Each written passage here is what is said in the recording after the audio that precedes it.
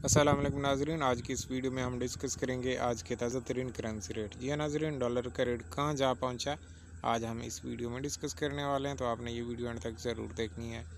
सबसे पहले यूएसडी का मतलब यूनाइटेड स्टेट ऑफ़ अमेरिका की करेंसी जो यूएस डॉलर होते हैं, उनका जो सैम्बल है यूएसडी होता है।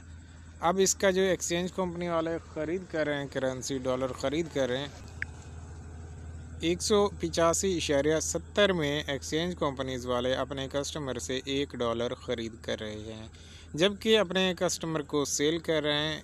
वन एटी सेवन एक सौ सतासी पाकिस्तानी रुपीज़ में एक डॉलर एक्सचेंज कंपनीज़ वाले अपने कस्टमर को सेल आउट कर रहे हैं।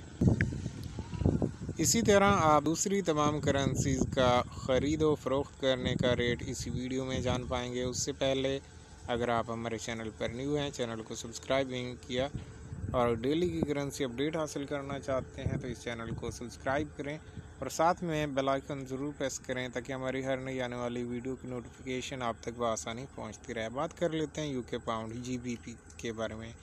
दो सौ चालीस इशारे पैंसठ में ख़रीद, जबकि दो सौ बयालीस इशारे पैंसठ में फ़रोख्त किया जा रहा है।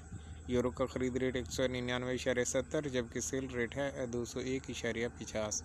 नाजरीन, ओवरऑल मार्केट ट्रेंड की बात करें तो तमाम करेंसीज़ के रेट में रद्दबदल देखने को मिली है और साथ में इजाफा भी देखने को मिला है।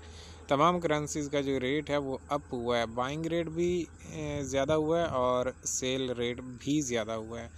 अगर आप एक मुल्क से दूसरे मुल्क में रकम ट्रांसफ़र करने के ख्वाहिशमंद हैं, तरीका जानना चाहते हैं तो आप मेरे चैनल पर विज़िट करें, वहाँ से प्ले लिस्ट चेक करें कि एक मुल्क से दूसरे मुल्क में रकम कैसे ट्रांसफ़र की जाती है, उसका तरीक़ाकार क्या है।